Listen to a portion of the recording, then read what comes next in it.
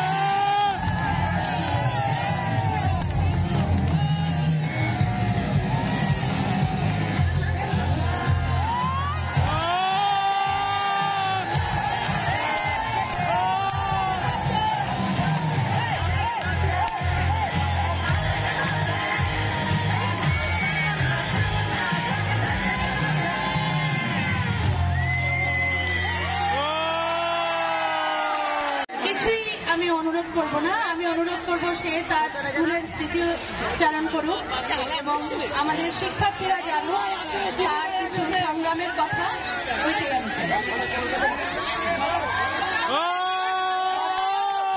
ফুল দিয়ে বরণ করে নিচ্ছে আমাদের শিক্ষার্থী।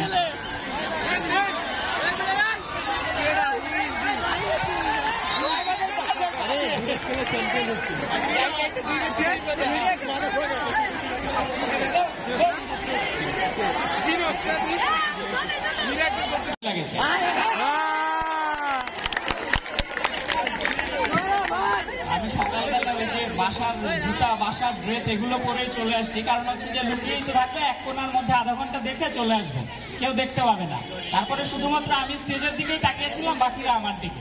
তো যাই হোক, ভুল একটা হয়ে গেছে এবং এই ভুলের কারণে ছোট বড়, না, বড় বলতে টিচাররা এবং ছোট ভাই বোনরা সবার সঙ্গে দেখা হয়ে গেছে। তো যাওয়ার আগে একটা কথাই বলতে চাই, নিজের মধ্যে আত্মবিশ্বাস রেখো এবং মনে রাখবে, আমি আমার দেশের সর্বশ্রেষ্ঠ স্কুলের ছাত্র, আমি গণভবন সরকারি উচ্চ বিদ্যালয়ের ছাত্র এবং দেশের সর্বোচ্চ বিদ্যাপীঠে যারা আছে, তাদের সঙ্গে আমরা ন্যাশনালি ইন্টারন্যাশনালি ফাইট করতে জানি। তাদের সঙ্গে ইন্টারন্যাশনালি ফাইট করে আমরা আমার দেশ, আমার স্কুলের জন্য সম্মান বয়ে আনতে পারি। শুধু এই আত্মবিশ্বাসটুকু রাখবে। ইনশাল্লাহ কোনো একদিন আবার দেখা হবে। আজকের মতো বিদায় নিচ্ছি? আসসালামু আলাইকুম। আমি অনেকক্ষণ আগে এসেছি। এসে ওই গাছের কোনায় দাঁড়িয়েছিলাম। আর আজকে স্কুলে এসেছি আমি সতেরো বছর পরে। দু সালের সাংস্কৃতিক অনুষ্ঠানের সময় নিজে যখন পারফর্ম করেছিলাম, এরপরে আর কখনো সাংস্কৃতিক অনুষ্ঠান দেখতে আসা হয়নি। এরপরে আজকে প্রায় পনেরো বছর, ষোলো বছর কেটে গেছে। আমি জানতে পারি যে চোদ্দ তারিখে হচ্ছে আমাদের স্কুলের সাংস্কৃতিক অনুষ্ঠান। এই অনুষ্ঠানটা আমার জন্য একটা স্মৃতি। এই দিন, এই অনুষ্ঠান আমার জন্য বিশাল স্মৃতিরময় একটা দিন। কারণ আমি জীবনে প্রথম পারফর্ম করি এই গণভবন সরকারি উচ্চ বিদ্যালয়ের সাংস্কৃতিক অনুষ্ঠানের স্টেজে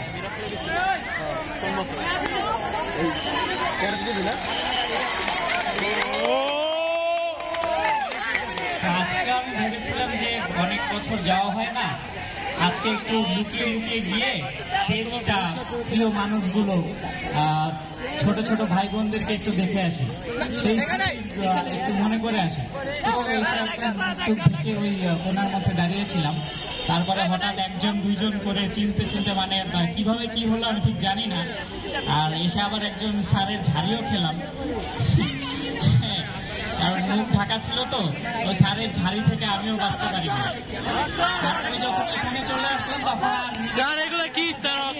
অপশন যেন স্যাররাও খবর মঞ্চ পর্যন্ত আসতেই হলো আর স্মৃতি ম্যাডাম যেটা বলছিল আমি এই স্কুলে ভর্তি হয়েছিলাম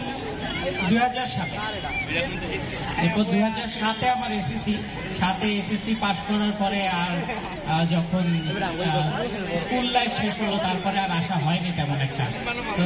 স্কুলের এই লাল বিল্ডিংটাকে লাল ইটের দেয়ালটাকে খুব মিস করি। আমাদের ক্লাসরুমগুলো খুব মিস করি। আমাদের স্যারদেরকে ম্যাডামদেরকে আমাদের যারা ছিল, এখনও আছে, খোরশেদ স্যার তো আছেই। আছে না এখনও? আগের মতোই মারে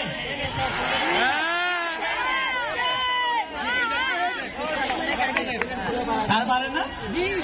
তবে আমি যেটা বলি খোরশেদ স্যারের মায়ের না খেলে জীবনে সফলতা আসবে না।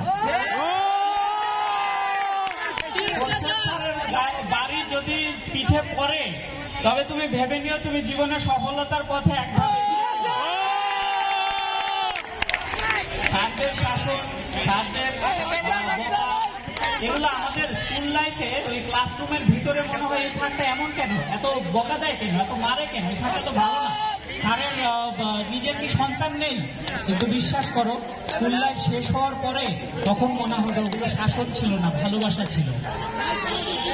এখন যখন জীবনের বড় বড় মঞ্চে গিয়ে দাঁড়াই যখন জীবনের অনেক স্মৃতি মনে পড়ে, তখন মনে হয় যে এখন আর কোনো স্যার মারে না।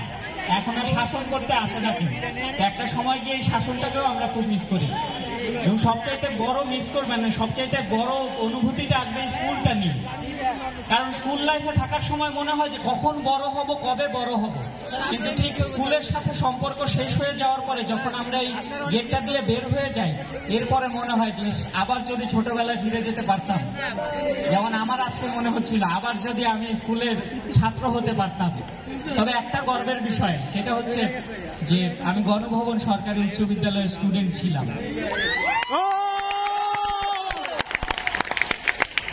এটা সত্যিই গর্বের বিষয়। আর একটা কথা বলব সেটা হচ্ছে অনেক গার্জিয়ানরা মনে করে কি? সাংস্কৃতিক অনুষ্ঠান খেলাধুলা এগুলোতে কি হবে। হ্যাঁ, আছে কোনো কাজ। তুই স্কুলে পড়াশোনা স্কুলে পড়াশোনা করার জন্য। বিশ্বাস করুন সবাই পড়াশোনা করে বড় হয় না। সবাই ভালো স্টুডেন্ট হবে না। এক রোল শুধুমাত্র একজনেরই হবে। কিন্তু বাকি যারা আছে, এরাও জীবনে কোনো না কোনো জায়গায় গিয়ে সফল হবে। জীবনে কোনো না কোনো জায়গায় গিয়ে ওই স্কুলের ক্লাসের ব্যাক বেঞ্চের ওই স্টুডেন্টটাও জীবনে সবচাইতে বড় সফলতম জায়গায় গিয়ে পৌঁছাতে পারে।